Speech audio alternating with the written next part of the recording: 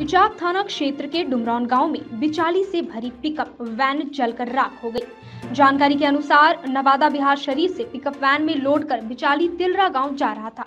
डुमरौन मदरसा के पास पहुँचते ही गाड़ी बिजली के तार से सट गई, जिससे बिचाली में आग लग गई और देखते ही देखते आग इतनी तेज हो गई कि उस पर काबू पाना मुश्किल हो गया और पिकअप वैन सहित जलकर राख हो गई। चालक ने बताया कि वह स्वयं गाड़ी का ऑनर है। गरीबी में कर्ज करके गाड़ी लिया था। अब उसके पास जीविकोपार्जन का दूसरा कोई साधन नहीं है। गाड़ी में रखा गाड़ी का पेपर, मोबाइल और बारह हज़ार रुपया जलकर राख हो गया। इचाक से महेश मेहता की रिपोर्ट।